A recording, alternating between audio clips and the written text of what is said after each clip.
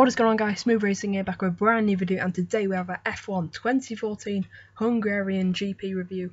This was round 11 of the F1 2014 season. We've been treated to some absolute amazing races this year and the Hungary Grand Prix did not fail to deliver.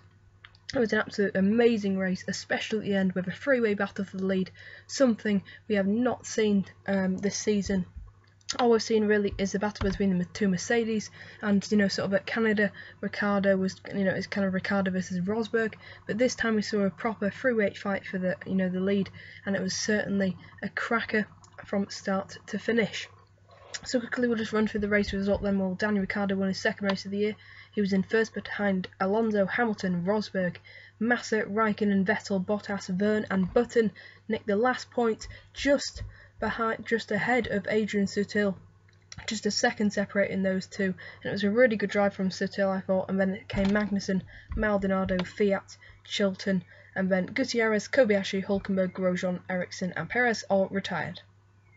So the race started then, and it was an electrifying start, with Rosberg leading very nicely away from Bottas and Vettel. And then as the race went on, everyone pretty much maintained positions um, until Marcus Ericsson managed to ditch his car into the wall.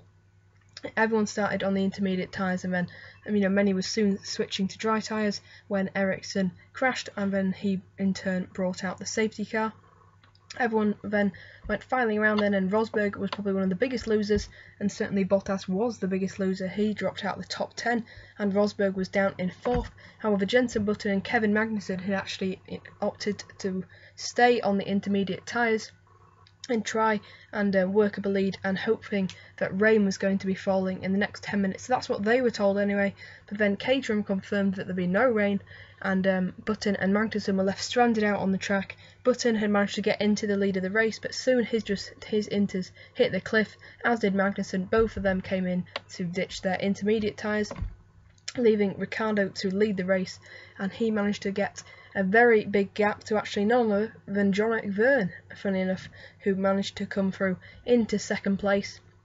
But Then sadly he dropped back as another safety car was brought out as Sergio Perez crashed and within, that's something I forgot to mention, within the Ericsson crash, Grosjean also crashed.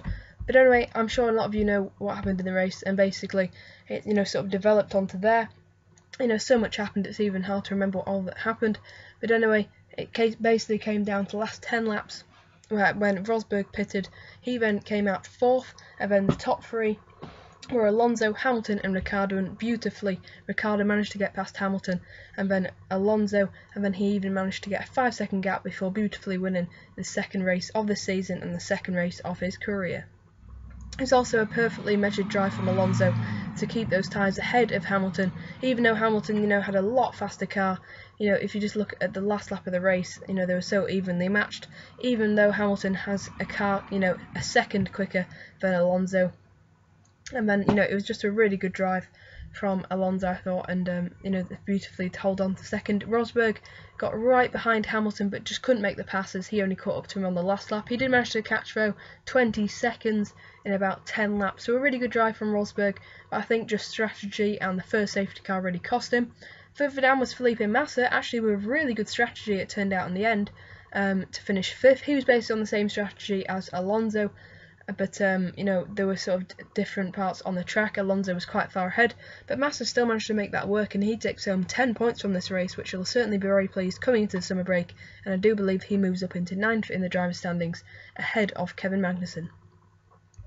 Moving on then, Kimi Raikkonen managed to get up to sixth, and that was his best result of the season so far, and certainly a race to remember for Kimi Raikkonen. He was just two seconds behind Massa as they came over the line a really calm and measured drive from Raikkonen. Some, you know, we sort of saw the seen the old self of Raikkonen, but we really do want to seeing more of. So hopefully this is a sign of things to come, but it will be improving going into the second half of the season. Vettel had a bit of drama in the middle of the race as he span, but no, somehow he managed to recover that car um, to do a 360 spin. He lost places to, um, I believe, both Mercedes and his teammate Ricciardo, but ultimately a really bad strategy once again from Vettel meant he dropped down to 7th, although a good call from him was to stay out and not pit again. That meant he gained another place ahead of Valtteri Bottas, who had an awful um, race considering he was second after lap 1 He managed to drop through the field down to 8th after the first safety car. He was outside the top 10, managed to work his way back up again, right behind his teammate, but then had to pin again, and that's where he lost his position to Vettel.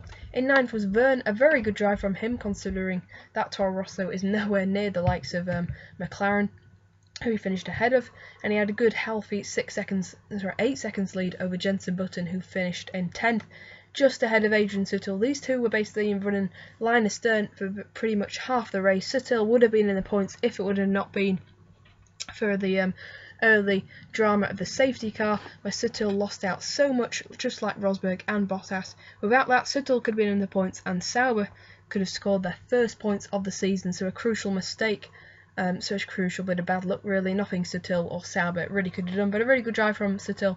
Definitely his best driver of the season to manage to finish ahead of Kevin Magnussen, who had a pretty dismal race. Him and Button, of course, um, you know, went onto those stayed out, sorry, on the intermediate tyres.